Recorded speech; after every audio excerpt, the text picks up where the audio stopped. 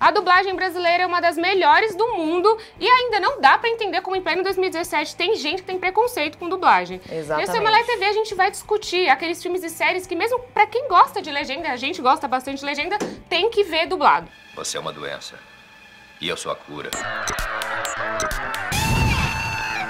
No começo desse ano, a Netflix me chamou pra ir ao México assistir algumas apresentações sobre tudo da Netflix. Sobre as séries novas, produções, filmes, blá, blá, tudo. E aí, uma das coisas que eu assisti foi um painel do Todd Ellen, que é o vice-presidente de produtos da empresa, e ele falou exatamente sobre como a dublagem ainda é muito importante aqui no Brasil. Um exemplo que ele deu foi 13 Reasons Why. 84%. 84%. Gente, isso é muita, Muita gente. gente. 84% então das pessoas que assistiram no Brasil a 13 Reasons Why viram a série dublada. E o que me deixou mais chocada é que Ok, 13 Reasons Why é uma série mais nova, pra adolescente, essas coisas pro público jovem, faz sentido. Mas 50% das pessoas assistiram a House of Cards dublada. House of Cards, a voz Gente. do Kevin Spacey, que você acha incrível, olha aí. Então, Exatamente. assim, faz muito sentido. Uma nação. Underwood. Olha, eu não vi 30 Reasons Why, nem House of Cards du- dublado, mas tem coisa que eu só assisto dublado. Acho que talvez a principal delas é as branquelas. Eu não As consigo branquelas. ver as branquelas. Vamos enaltecer esse Não. chamadas branquelas. Tem que ser dublado. Aquelas piadas. Tem piada que nem faz sentido. Tem uma hora que eles fazem umas coisas meio. é, sua mãe é tão burra, mas tão burra que ela procurou um papa pra fazer um papa Nicolau. Tipo, who the fuck? O que, que tá acontecendo, sabe? que tá E mesmo acontecendo? assim, dublado fica maravilhoso. Sua mãe é tão velha que sai leite em pó das tetas dela. Você mamava assim. É, mas é que eu acho que o principal da dublagem não é só a tradução, é a contextualização de várias coisas, sabe? É você trazer pra nossa cultura alguns detalhezinhos do filme que dão a diferença, Não, sabe? uma vez eu li um texto sobre dublagem versus legendagem. A questão era, eles falam assim, quando você não entende inglês e vê só a legenda, a legenda, ela tenta encurtar e dar um contexto Sim. muito Sim. rápido É. pra aquilo. A dublagem, ela dá de fato a contextualização, a se é risada, se é triste, se é feliz. Então você entende muito melhor caso você não domine a É. outra língua quando você vê dublado. Ai, meu Deus, ela quer falar da mamãe. Ai, isso, quer falar de mãe, quer falar de mãe, quer falar de mãe. Tem uma coisa que eu não consigo assistir em inglês, mas não consigo mesmo, que é Eu, a Patroa e as Crianças. Nossa. dá. Gente, não tem como, não tem como. Se tá passando em inglês, você fica assim, Cadê a voz, o que tá né? acontecendo? Então por que que tá esquisito, sabe? É muito bizarro. Não, tá tudo. E no Eu Patrulha as Crianças tem uma coisa também que é quase que você tem um time, sabe? Tem a galera, porque o Michael Caio ele foi dublado por duas pessoas diferentes. Pelo Paulo Binotto e pelo Marco Ribeiro. Então tem a galera que prefere o Marco Ribeiro, tem a galera que prefere o Paulo Binotto. Eu acho que tipo, os dois são maravilhosos. Sim, e dois que o personagem... muito bem, né? Exato, é ótimo, é, ótimo. Outro registro no mural da vergonha. Ah, mas aproveitando, falando de Eu para outras crianças, eu acho que se a gente colocar na categoria séries do SBT, não dá. Au! Não! se a gente colocar na categoria.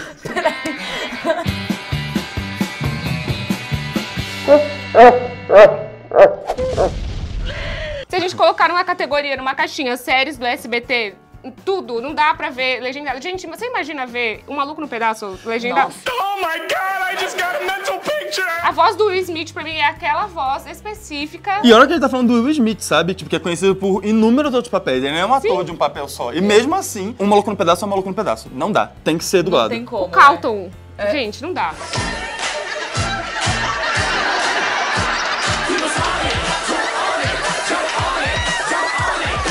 Exatamente. Eu acho é que tem algumas coisas que você só reconhece. Tipo, é, é memória afetiva. É muito memória afetiva. Quando você tá vendo aquilo, naquele contexto, sabe? Daquele jeito, na TV, com o login do SBT, Oi. Sentido Sim. não ser a voz do Will Smith, sabe? E tem umas vozes também que são muito marcantes. É, por exemplo, eu não vejo Todo Mundo em Pânico se não for dublado, porque eu preciso ouvir a Marisa Leal dublando a, a Brenda. Aquela Brenda, cena, gente, no personagem. cinema, dela falando no telefone, tipo, ah, que você quer um frango assado na minha bolsa. Velho, é maravilhoso, é maravilhoso.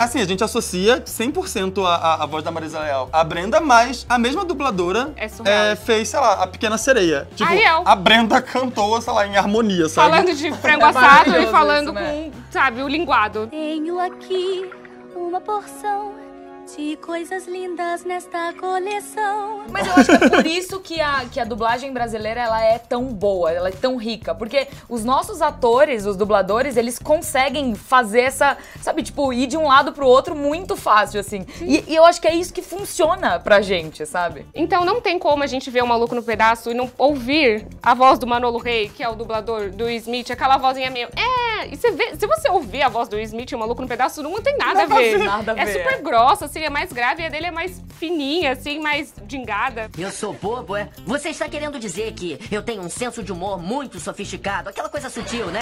You am here. Oh, I need a moment. Agora, tem uma que realmente, quando você procura os vídeos originais, quando você vai atrás e, e- e quer descobrir como que era, porque você não. A gente nunca teve contato com essa produção no original, que é Chaves. Isso, isso, isso, isso, isso. Gente, não tem como. E é engraçado Chaves é porque. dublado? Chaves é dublado, Rafael. Chaves é dublado, Rafael. E sabe uma coisa que eu descobri quando eu tava preparando o painel do Carlos Villagrán pra CCXP Tour? Que a música de abertura do Chaves é diferente aqui no Brasil do que a original. É sério. E a música de abertura original é bizarra. é muito bizarra.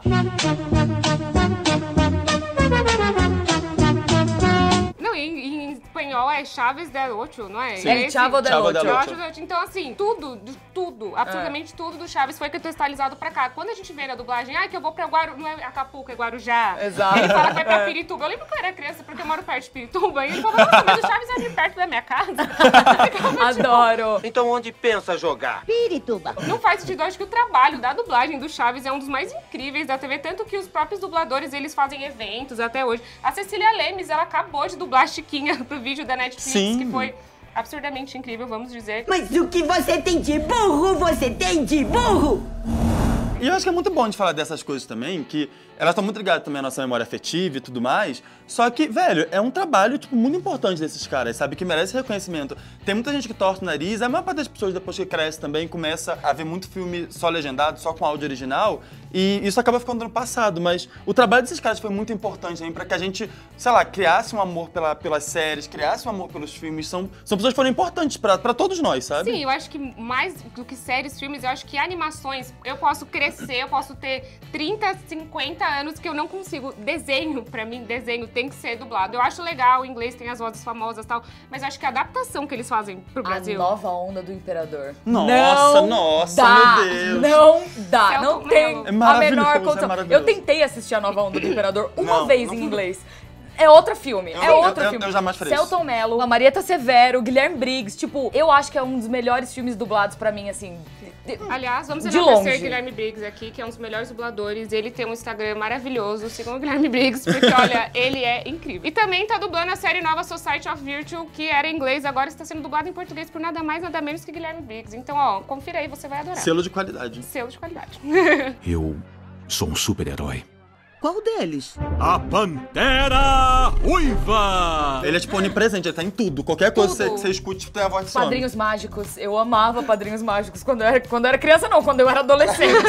Sempre gostei de Padrinhos E Mágicos. tem, tem- acho que assim, tirando o Let It Go de Frozen, tipo, todas as músicas que eu, que eu canto até hoje de desenho animado são a versão nacional, sabe? Sim, a gente- É, O que eu quero mais é ser rei do Rei Leão, a trilha sonora de Mulan, de Tarzan, todas essas. Todas as é trilhas sonoras. Hércules. Patrícia. Hércules. Há uma voz dizendo: É aqui que eu vou viver. Eu me encontrarei, vou vencer distâncias, não fraquejarei, nada é pior.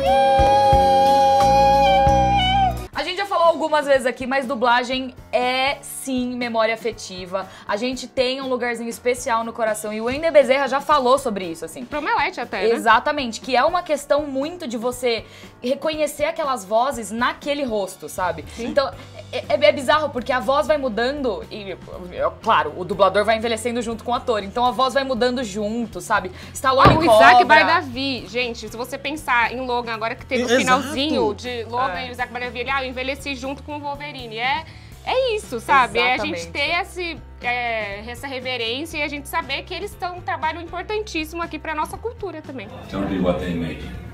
Não seja aquilo que te fizeram.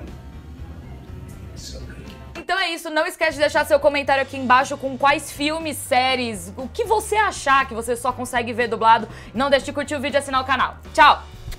Você adora dar tiro. Eu odeio gente assim. Você é um imaturo. Você é um cocô. Você é um cocô.